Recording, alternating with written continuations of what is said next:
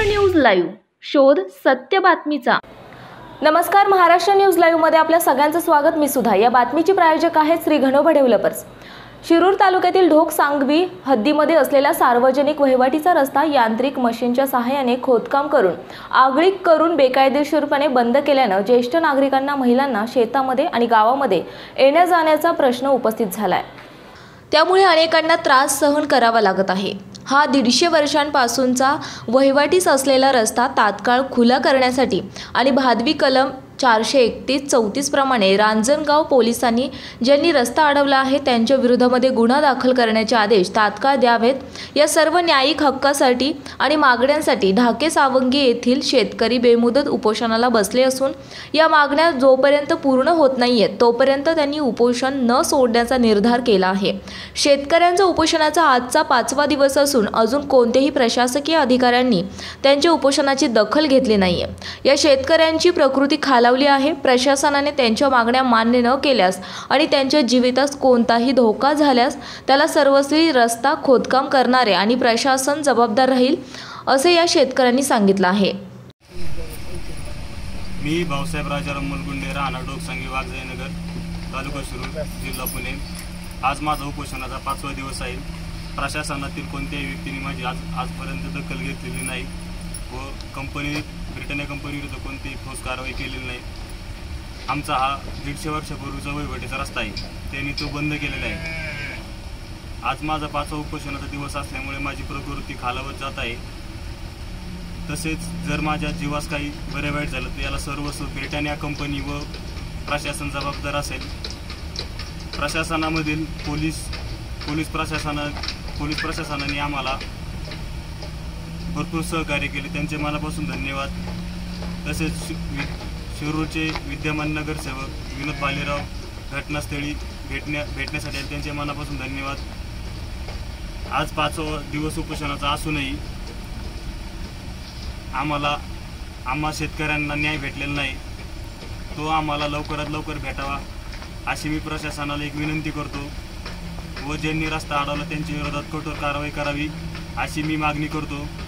तेवीस तारखेचा जो पंचनामा झाला तो पंचनामा बाधित शेतकऱ्यांना हात बाधित शेतकऱ्यांना हाताशी न घेता कंपनीचे ठेकेदार व कंपनीशी संगनमत करून यादव नाईक तहसीलदार यांनी तो पंचनामा केला आहे.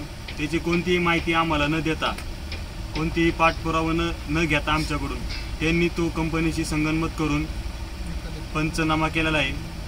त्याच्यावरती आम्ही शेतकरी खूप तीव्र नाराज आहे. तशी आम्ही त्यांची तक्रार कलेक्टर साहेबांना केलेली आहे. कलेक्टर साहेबांनी त्यांची लवकरात लवकर दखल घेऊन त्यांच्यावरती कठोर कारवाई घ्यावी करावी अशी मी त्यांना विनंती करतो व आम्हा शेतकऱ्यांना लवकरात लवकर न्याय द्यावा. कारण आज जर मोठ्या एखाद्या व्यक्तीचं उपोषण असतं तर त्याला तीनच दिवसात त्याचं उपोषण सुटलं असतं. सर्वसामान्य शेतकरी असल्यामुळं आज माझं उपोषण सुटत नाही. याला जबाबदार कोण आहे? याला जबाबदार प्रशासन आहे. प्रशासनावरती लवकरात लवकर कारवाई करावी ही मी विनंती करतो. तसेच आमचे लोकप्रतिनिधी यांना मी सांगून देखील त्यांनी कोणत्याही प्रकारची दखल न घेतल्यामुळं त्यांच्यावरती आम्ही नाराज आहे. आज जे सरकारमध्ये बसलेले आहे ते आज इथं भेटायला येत नाही पण जे विरोधात आहे ते इथं भेटायला येतात. म्हणजे आज किती मोठी नाराजी आहे आमच्या समाजात. आज धनगर समाजाने संबंधित व्यक्तींना म्हणजे आमच्या मतदारसंघातील दिलीपराव वळसे पाटील असू द्या किंवा अमोल कोल्हे असू द्या यांना आम्ही भरभरून दिलेलं आहे. मग ही व्यक्ती आमच्यासाठी ते बसलेली आहे. ती आज इथं भेटायला येत नाही पण जे विरोधात आहे ती इथं भेटायला येतात. म्हणजे आज ही किती मोठी नाराजी आहे आमच्या समाजासाठी.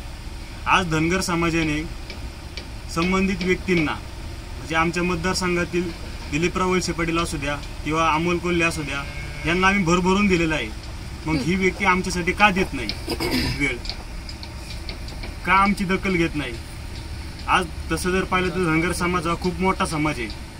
आज हा समस्या फक्त माझी एकट्याची नाही आज इथं आमची धनगर समाजाची भरपूर मोठी लोक लोकवस्ती आहे. त्या लोकवस्तीचा विषय आज हा. तर माझी एकच विनंती आहे लोकप्रतिनिधींना. त्यांनी लवकरात लवकर ही दखल घ्यावी व लवकरात लवकर आम्हाला न्याय मिळवून द्यावा. ही मी त्यांना विनंती करतो. धन्यवाद.